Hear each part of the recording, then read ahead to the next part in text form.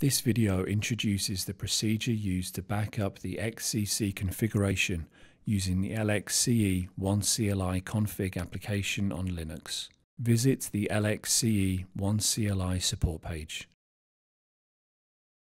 Find the appropriate OS section and download the requested TGZ file.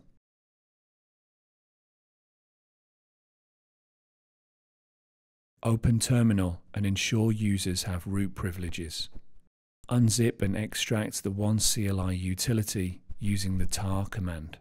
Note, OneCLI will not check for the correct permission while running. Some commands will run correctly in an unprivileged mode, but others will fail.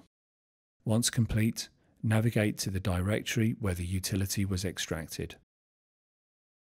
Enter the config help command to display the available config application commands. The following commands will help you back up the XCC configuration. Show, show groups, save, restore and replicate. Enter the config show groups command to display the available names of the group class. The XCC setting group is IMM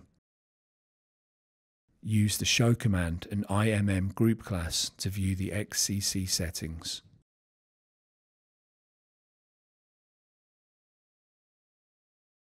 Use the config IMM save command to save the XCC configuration from the host server.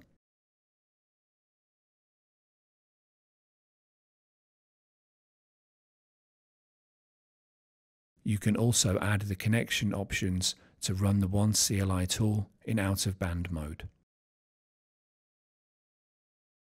Go to the directory in which you saved the configuration file, copy the file and save it to another backup storage space. The saved configuration information can be replicated to another system or used to restore the current server. So, how do you restore or replicate the saved configuration? Use the following command to restore the saved setting file to the current system. You can also use the connection options at the end of the command to replicate the settings in the configuration file to the target server. The settings in the non-replicated group are saved in a specific file and cannot be replicated.